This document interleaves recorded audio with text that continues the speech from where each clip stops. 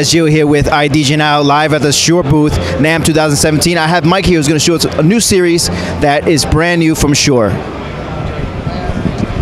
Thank you. This is uh, a GLXD Advanced Digital Wireless. We're announcing this here at the NAMM show, and it provides exceptional digital audio clarity, intelligent rechargeability, and automatic frequency management for ease of use. The rechargeability provides up to 16 hours of runtime and can replace up to 2,500 alkaline cells. The system consists primarily of a GLXD half rack,